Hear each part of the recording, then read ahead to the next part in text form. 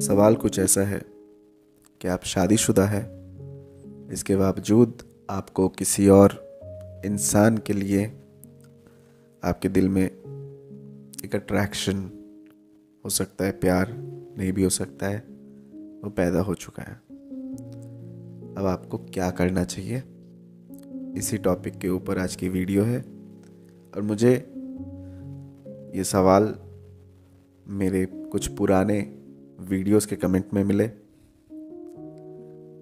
और बहुत सारे कमेंट्स थे जिसकी वजह से मुझे लगा कि एक बार इस टॉपिक के ऊपर भी थोड़ी बात करनी चाहिए। तो हेलो दोस्तों, स्वागत है आप सभी का हार्ट वॉइस के एक नए वीडियो में।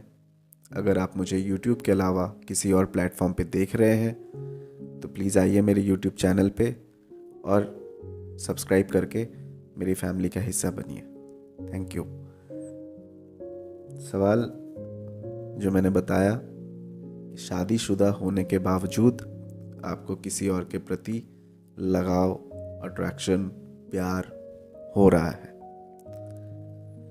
तो दोस्त, बहुत सेंसिटिव पॉइंट पे आप हैं, आपकी लाइफ है।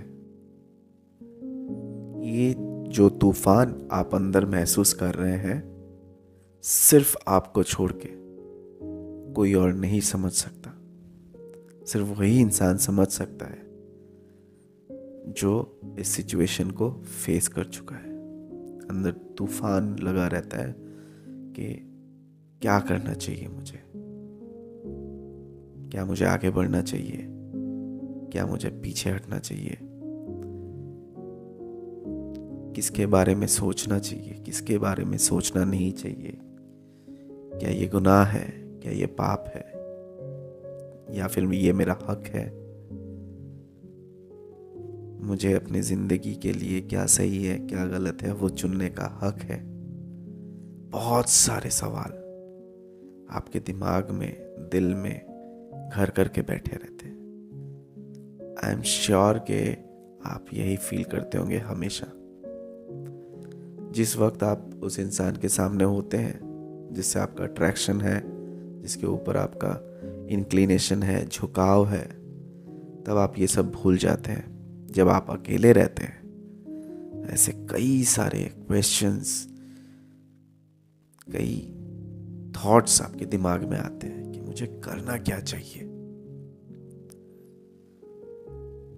ज़िंदगी खराब होने लगती है आपकी अगर आपको इसका आंसर ना मिले तो। इसका जवाब आपको जानना है। और बहुत कुछ डिपेंड करता है कि आप क्या चुनते हैं। आप आगे बढ़ते हैं या पीछे जाते हैं। इसके ऊपर काफ़ी कुछ डिपेंड करता है। Not only your life but the lifes of the people who are around you who love you who care for you सिर्फ़ आपकी नहीं, आपके साथ साथ आपके साथ जुड़े हुए तमाम लोगों की लाइफ में कुछ ना कुछ बदलाव आएगा आपके एक्शन से। अगर आप ऐसे सिचुएशन में हैं, जिसकी मैं बात कर रहा हूँ, सबसे पहले सबसे पहले आपको क्या करना चाहिए? फ़र्स्ट स्टेप थोड़ा सा पीछे जाइए। थोड़ा सा पीछे मतलब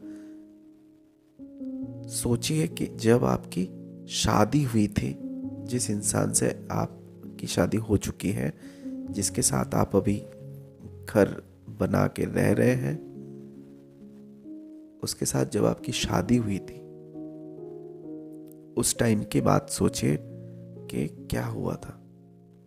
किस वजह से उस इंसान के साथ आपकी शादी हुई थी? क्या वो लव मैरिज था? क्या वो अरेंज मैरिज था? लव मैरिज था तो लव किसके ओर से था? सिर्फ़ उसके तरफ़ से था? आपका कुछ खास मन नहीं था?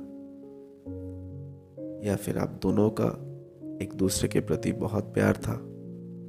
अगर अरेंज मैरिज है तो क्या आपके मर्ज़ी के खिलाफ हुई थी? या फिर आपने भी हामी भरी थी? आपने भी हाँ बोला था, तब जाके आपके पेरेंट्स ने इस लड़के को चुना आपके लिए। क्या हुआ था? आपको भी पता है कि अगर शादी के बाद आपका किसी और के लिए प्यार पनप रहा है आपके दिल में तो कहीं ना कहीं कुछ ना कुछ प्रॉब्लम तो है। या तो वो प्रॉब्लम पूरे दुनिया के सामने आ चुका है, या सिर्फ़ और सिर्फ़ आपको पता है प्रॉब्लम कहाँ है। अगर आपकी शादी मर्ज़ी से हुई थी आपकी आपकी हामी थी, उसमें आपका कंसेंट था क्या चेंज ऐसा हो गया कि आज आपका दिल किसी और के लिए धड़क रहा है? क्यों उस इंसान के साथ रहना आपको पसंद नहीं है? क्या चेंज हुआ है? जिस वजह से आपका दिल किसी और की तरफ़ आ रहा है, किसी और की तरफ़ जा रहा है बेसिकली थोड़ा सा सोचिए इसके बारे में। जो चेंज हुआ है, क्या आप उसको बैक टू नॉर्मल कर सकते हैं? क्या वो वापस हो सकता है? क्योंकि अगर आप जो दूसरा इंसान आया उसकी तरफ़ आगे बढ़ जाते हैं, पुराने रिश्ते को तोड़ के या फिर जैसे भी हो, अपने पार्टनर को चीट करके अगर आप आगे बढ़ते हैं तो नुकसान तो है। मतलब नुकसान किसका होगा? जिसके साथ आप ऑलरेडी मैरिड थे अगर आपके बच्चे हैं तो उनका फ्यूचर, अगर फैमिलीज़ इन्वॉल्व है तो उन फैमिलीज़ के बीच में रिश्ता ख़राब होगा, सब कुछ अच्छा बस आपके लिए होगा, बाकी सबके लिए बुरा होने वाला है। तो अगर आप आगे बढ़ना चाहते हैं तो एक बार सोचिए कि क्या मैं जिस इंसान के साथ रह रहा हूँ या रह रही हूँ, क्या उसको वापस पहले की तरह बदला जा सकता है, जिस सिचुएशन में मैंने शादी के लिए हाँ करा था या हाँ करी थी। बातचीत करके हो या फिर थोड़ा सा खुद को चेंज करके हो, कैसे भी हो, क्या उसको बदला जा सकता है, क्या उसको वही रीजंस वापस लाए जा सकते हैं जिस वजह से आपने शादी के लिए हाँ करी थी। मैंने मान लिया कि शादी के टाइम आपकी ज़ोर ज़बरदस्ती नहीं हुई थी, आपकी मर्ज़ी के ख़िलाफ़ नहीं थी। या तो लव मैरिज था या अगर अरेंज मैरिज हुआ था, उसमें आपका हाँ उसके, उसमें आपने हाँ कहा था। ये मैंने मान लिया। उसके बाद, शादी के बाद आपका पति अगर शादी के शुरू में जैसे बिहेव करता था शुरू में तो आपके साथ अच्छा रिलेशन रहा ही होगा। उसके बाद धीरे धीरे वो अपने काम में इन्वॉल्व होने की वजह से क्या आपको इग्नोर करने लगा है? क्या उसकी प्रायोरिटीज चेंज हो चुकी हैं? क्या उसका कहीं और अफेयर है? रीज़न क्या है? किस वजह से आप इस रिश्ते को छोड़ के आगे बढ़ना चाहते हैं? ये हो गया आपके साइड से, जो आपको सोचना चाहिए, जो पुराने रिश्तों को लेकर जो थॉट प्रोसेस आपके दिमाग में चलनी चाहिए। दूसरा, जिस इंसान के लिए आप अपने पुराने रिश्ते को छोड़ना चाहते हैं या फिर उसको चीट कर रहे हैं, जिस इंसान के लिए कर रहे हैं, क्या वो इसका योग्य है? इज़ ई वर्थ इट प्यार तो आपको हो गया। किसी भी वजह से प्यार हो गया। प्यार कभी भी हो सकता है। आप कह ही सकते हैं कि प्यार मैं किसी से भी कर सकता हूँ। ये मेरी लाइफ है। मैं इसको कैसे जीऊँ? कोई इसमें दखल अंदाजी नहीं कर सकता। शादी के बाद प्यार हो ही सकता है। प्यार कभी भी हो सकता है। बहुत सारे ऐसे लॉजिक्स आप बीच में दे सकते हैं। लेकिन थोड़ा सा रुकिए। और समझिए इस चीज़ को जिस इंसान के लिए आप ये सब कर रहे हैं, क्या वो इसका योग्य है?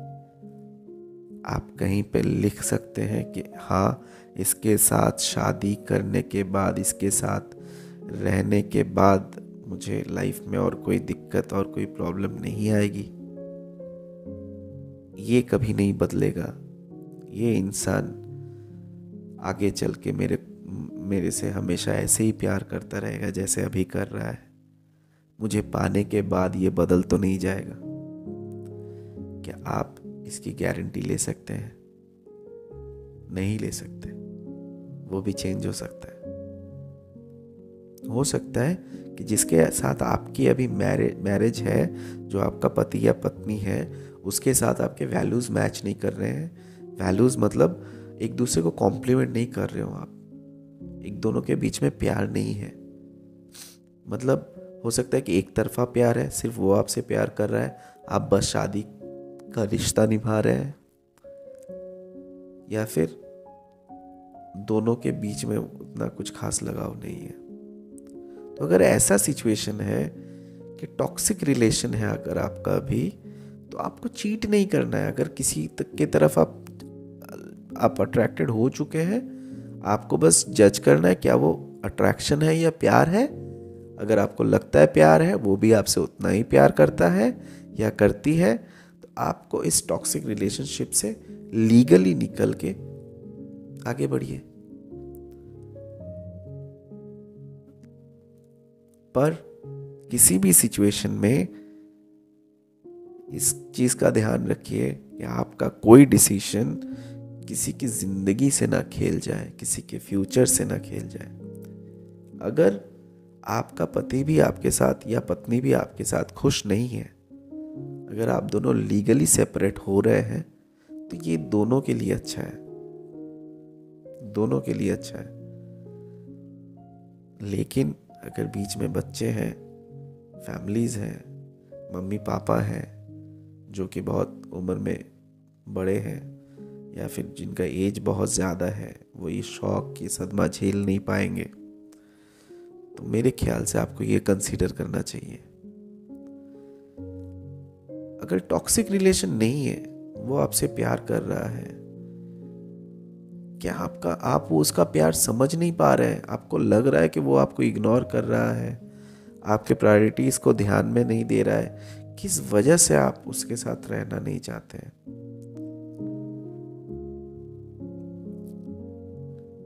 मैं आपको यही सलाह दूँगा कि अगर थोड़ी सी भी गुंजाइश है तो प्लीज़ मत बढ़िए आगे।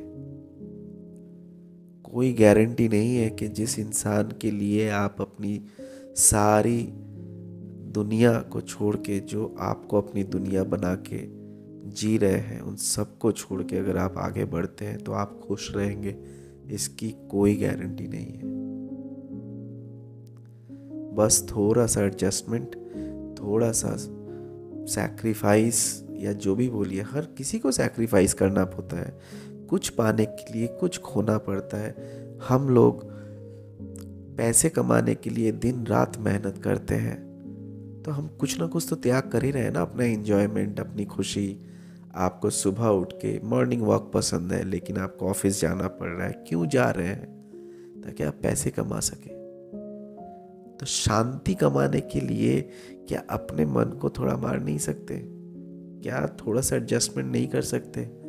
इससे सिर्फ़ आप नहीं, आपके आसपास के सारे लोग, आपका जो एनवायरनमेंट है शांत है, सुखी है, आगे बढ़ रहा है। अपने ड्यूटीज़ रिस्पॉन्सिबिलिटीज़ को अच्छे से निभा पा रहा है। क्यों? क्योंकि बाकी पर्सनल लाइफ में शांति है। और शांति को बजाय रखने के लिए, शांति को बरकरार रखने के लिए अगर आपको थोड़ा बहुत एडजस्टमेंट करना पड़ रहा है तो हर कोई कर रहा है एडजस्टमेंट शायद आपको दिख नहीं रहा कि आपका पति या आपकी पत्नी वो भी एडजस्टमेंट कर रही है, ताकि आपके साथ उनका रिलेशन बना रहे, बरकरार रहे, शांति बनी रहे। तो आप नहीं कर सकते। जिस दिशा में जिस दिशा में आप जा रहे हैं वो बहुत ही आ, क्या कहते हैं वोलाटाइल है। मतलब वहाँ पे नुकसान होने के चांसेस ज़्यादा है। वो आपका इस्तेमाल करके आपको छोड़ नहीं देगा। या फिर वो कल को फिर और किसी के लिए आ, उसके दिल में वो नहीं हो जाएगा। मतलब आज आप आपको उसने पाया नहीं है। इसीलिए आपके लिए इतना उसको अट्रैक्शन हो रहा है। कल को आप उसको मिल गए, उसके बाद आपको वो बोल नहीं जाएगा या जाएगी, कोई गारंटी नहीं है। तो क्यों आप इतना बड़ा रिस्क ले रहे हैं? अगर आप थोड़ा सा एडजस्ट कर लें तो सब कुछ नॉर्मल हो सकता है। ठीक है? हम लोग बचपन से आ रहे हैं एडजस्ट करते करते ही बड़े हो रहे हैं। ताकि हम लोग अब कुछ सपनों को पूरा कर सकें। और जो सपने पूरे होने के लिए बहुत लोगों की खुशियों को, मेंटल पीस को रिस्क करना पड़ रहा है, वो क्या सपने हैं? वो सपना, वो इंसान, उसको सपना रहने दे। उसको एक अधूरी ख्वाहिश रहने दे। अगर आपको सच्चा प्यार भी हो गया है, शादी के बाद अगर सच्चा प्यार भी हो गया है तो भी किसी की खुशी के लिए, कुछ लोगों की ज़िंदगी नॉर्मल रखने के लिए क्या आप थोड़ी सी कुर्बानी नहीं दे सकते? प्यार हो गया मतलब उसको पाना ही पाना है। उसके साथ ही शादी करनी है, उसके साथ ही रहना है। आपने उसके बारे में भी सोचा है? जिस इंसान के लिए आप अपने अपने सारे रिश्तों को दाव पे लगा रहे हैं, क्या आप आप आप तो शादीशुदा हैं, क्या उसकी लाइफ आगे सही रहेगी? उसके पेरेंट्स की इज़्ज़त बनी रहेगी जब वो आपसे शादी कर लेगा? एक शादीशुदा, एक डाइवोर्सी एक डाइवोर्स्ड इंसान से अगर वो शादी करता है तो उसकी रिस्पेक्ट उसकी इज़्ज़त सब कुछ सही रहेगी ना? आप इतने श्योर हैं? उसके फैमिली को कोई ऑब्जेक्शन नहीं है? उसके फ्रेंड सर्कल में उसकी नाक नहीं कट जाएगी। धीरे धीरे वो अंदर ही अंदर मतलब दुखी तो नहीं रहेगा।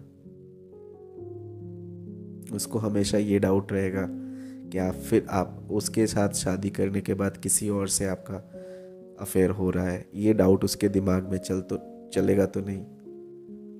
क्यों इतना मगज मारी? खुश रहो यार अपने लाइफ में। थोड़ा सा एडजस्ट करो। और अगर प्यार हो भी गया किसी और से तो उसको एक अधूरी ख्वाहिश समझ के भूल जाओ यार। मतलब भूल तो नहीं पाओगे, वो दिमाग में रहेगा, दिल में रहेगा। बस ये याद रखना, अधूरे ख्वाहिशों से मतलब मिलती है ज़िंदगी को। बेमतलब वही है, जिसके सारे ख्वाब पूरे हो चुके हो। मेरा बस ये एक सजेशन था आपके लिए। बाकी आपकी लाइफ है, आपका डिसीज़न है। अगर मेरी वीडियो पसंद आए तो लाइक करें। और अगर आपका कोई दोस्त है जो इस सिचुएशन में है तो उसके साथ इस वीडियो को शेयर करें। Thank you